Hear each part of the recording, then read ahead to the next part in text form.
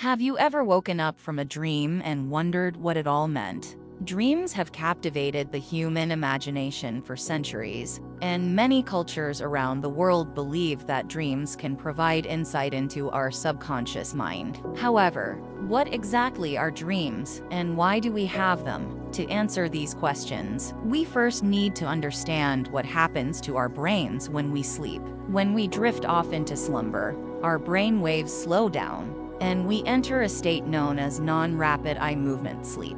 During this phase of sleep, our bodies are in a state of deep relaxation, and our brain is processing information from the day. As we progress through the different stages of sleep, we eventually enter REM sleep, which is when most of our dreaming occurs. During REM sleep, our brain becomes more active and our eyes move rapidly beneath our closed eyelids. One of the most prominent theories about why we dream is that it helps us consolidate memories. Researchers have found that sleep plays a critical role in the process of memory consolidation, and dreams may be an extension of this process. During REM sleep, our brain is actively forming connections between different pieces of information, and this can help us to remember things more effectively. But dreams aren't just about processing information from the day. They can also provide us with insights into our emotions and innermost thoughts. Dreams can be a way for our subconscious mind to communicate with us,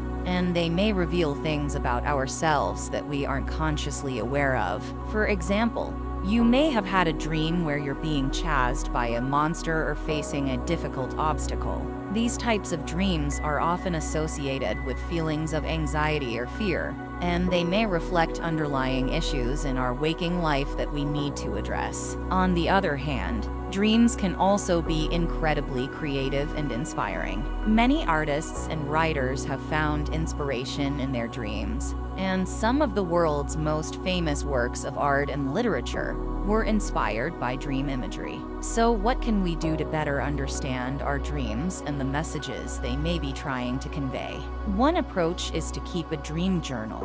By writing down your dreams as soon as you wake up, you can start to identify patterns or recurring themes that may reveal something about your inner world. Another approach is to try lucid dreaming, which is when you become aware that you're dreaming and can take control of the dream. With practice, you can learn to shape the content of your dreams and even use them to explore different aspects of your psyche. While we still don't fully understand the purpose of dreams, one thing is clear they are a fundamental part of the human experience. Whether they're helping us process memories, exploring our innermost thoughts and feelings, or inspiring us to create, dreams have the power to shape our lives in profound ways. So the next time you wake up from a dream, take a moment to reflect on what it might mean for you.